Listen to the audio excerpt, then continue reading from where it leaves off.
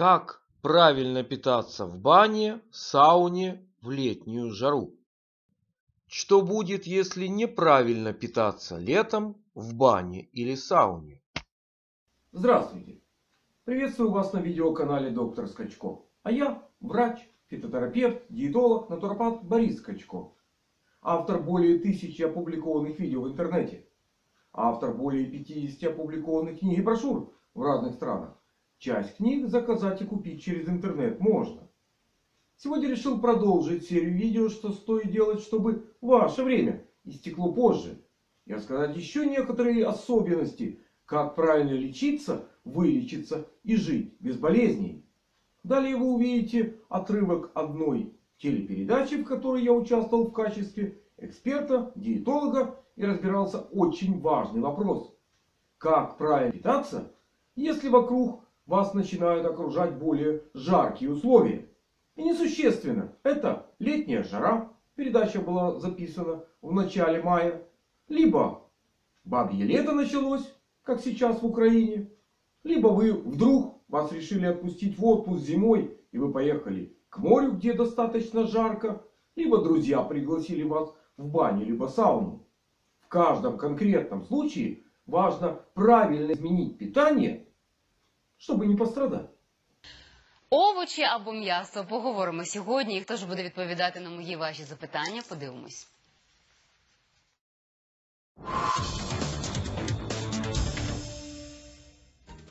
Скачко Борис Глібович, лікар-терапевт, фітотерапевт у сьомому поколінні, дієтолог, автор понад 40 наукових статей, 50 книг та брошур.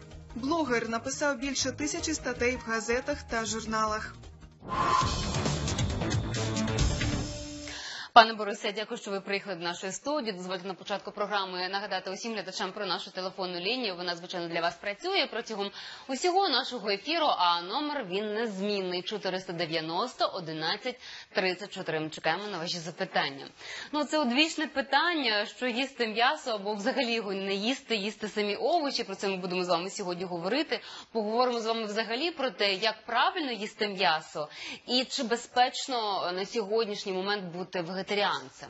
Давайте почнемо з м'яса, тому що вже давно розпочався шашличний сезон, і е, людей дуже турбує питання е, щодо м'яса, його якості, як його правильно готувати, як його правильно вживати, або зранку, чи можна вечеряти м'ясо. Ну, одним словом, нюансів дуже багато. і Сподіваюся, що сьогодні з вашою допомогою ми всі ці нюанси і проговоримо. Тож, шашличний сезон. Ви вже розпочали? Да.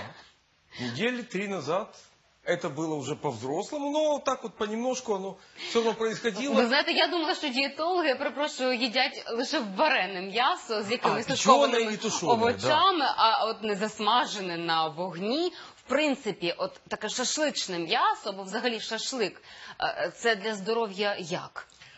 Если его правильно подготовить, то э, шашлычное мясо будет ничем не хуже, чем отварное. Потому что, э, смотрите, первое нужно, конечно, выбрать мясо, нужно понять, что э, для вас больше подходит.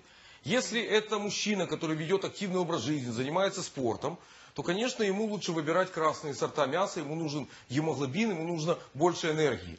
Если это женщина или мужчина, который ведет не самый активный образ жизни, он может выбрать птицу либо рыбу. Из этих продуктов тоже можно готовить себе шашлык.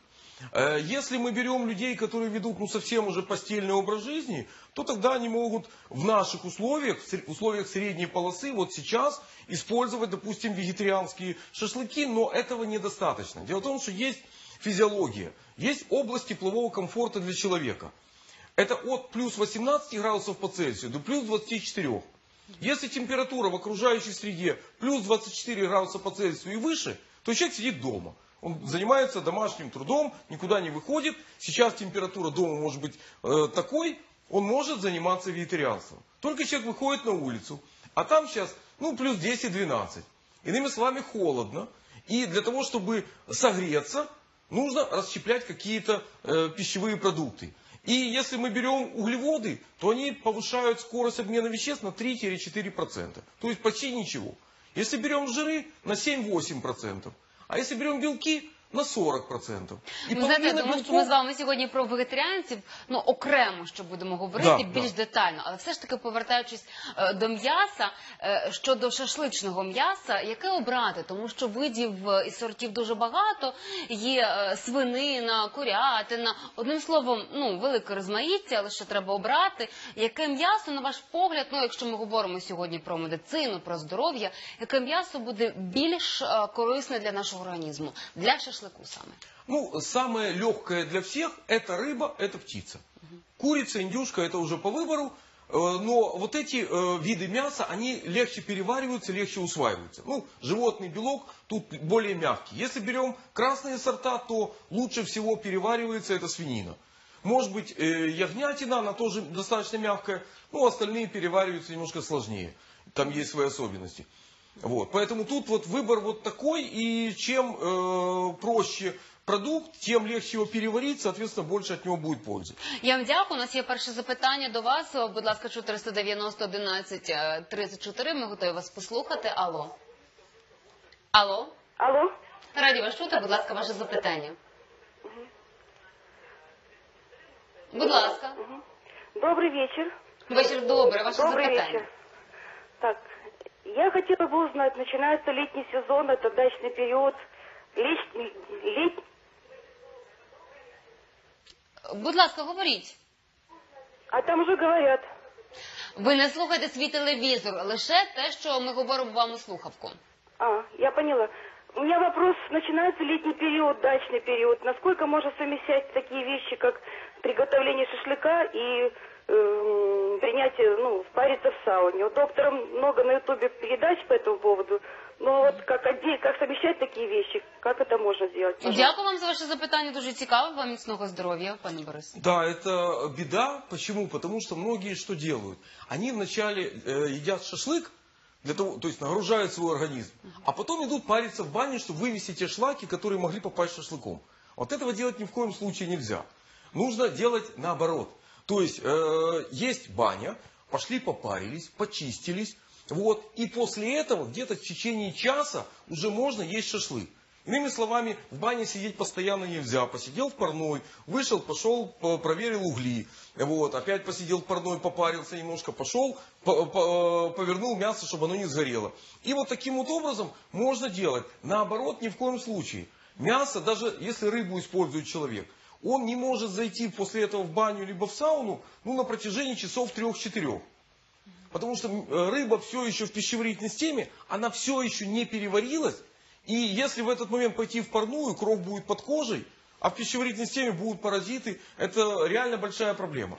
Вот наша так вот легко отравиться даже э, натуральным шашлыком. Вы выбрали супер рыбу, она вот только плавала, или там курицу, которая кудахтала, приготовили из ней шашлык, они сгниют в кишечнике и будет хуже. Наша глядачка е, згадала доречно про літо. Ми всі його, до речі, чекаємо, е, щоб було вже тепло. От сонячні ванни, взагалі, коли спекотно, чи безпечно їсти м'ясо? Тому що ми знаємо, що взимку хочеться чогось такого, так ситного, а влітку нам більше овочів, фруктів, взагалі спека і м'ясо. Чи це безпечно?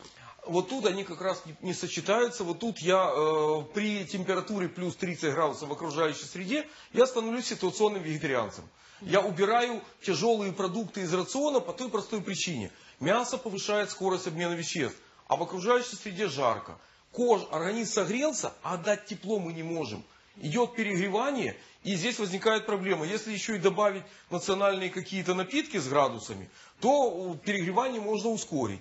И вот здесь вот э, система питания в области экватора, она правильная, она абсолютно правильная, в том плане, что там очень много вегетарианцев, и в этих условиях это условия выживания. Если такие условия оказываются на нашей территории, нам тоже нужно эту систему применять, и тогда э, здоровье человек будет сохранять, а ну, животные белки можно получать из молочных продуктов. Их исключать не нужно, они очень мало подогревают обмен веществ. Яйца можно использовать в питании, они тоже не дают много тепла. И в этом случае мы и белок получаем, иммунную систему поддерживаем, организм поддерживаем, а э, в жару не рискуем. Я вам дякую. У нас є ще запитання до вас, будь ласка, 490 11 34. Алло. Иными словами, если вы правильно и, главное, вовремя изменили питание, ваше здоровье в безопасности. Вот на этой позитивной ноте я это видео буду заканчивать с привычным подписчиком моих каналов словами. Крепкого вам здоровья и разумного к нему отношения. А пока вы думаете, кому отправить ссылку на это видео, не забудьте поставить на него лайк. А я подумаю, как лучше написать и разместить на своем канале следующее видео, чтобы вы жили и лучше, и дольше. До новых встреч на моих каналах. Доктор Скачко и Школа доктора Скачко.